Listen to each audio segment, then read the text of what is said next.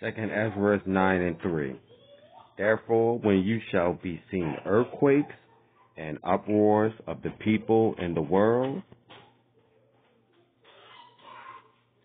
verse number 4, then shalt thou well understand that the Most High spake of these things from the days that were before thee, even from the beginning. Call Allah Yahweh Ba'ashem Yahweh by Hashem Rakakadash double honors to the elect, preaching his word in truth and sincerity. King Jesse, I'm out with another Bible lesson.